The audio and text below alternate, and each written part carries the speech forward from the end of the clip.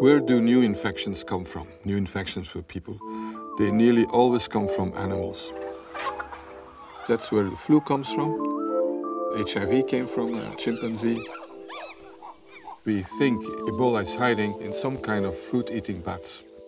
And the reason is that in remote areas, the main source of food are wild animals.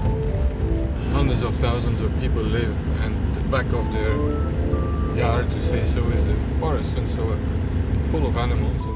The interaction between people and wild animals is, I think, becoming more and more intense. As cities are moving where there used to be forest, population pressure is increasing, and animals are being hunted more and more.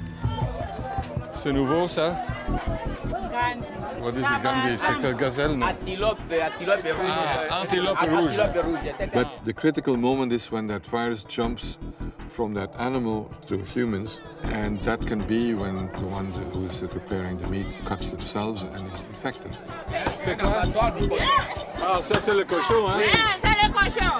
Oui, oui, oui, oui. That's when it must transmit the virus. C'est le singe, hein Oui, Oui, on va par les mains des singes, hein oui, c'est c'est- Voilà, ok.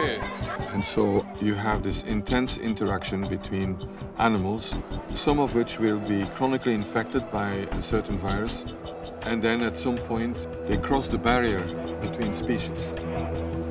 And it probably happens regularly, over and over again, and God knows what new viruses will, uh, will pop up.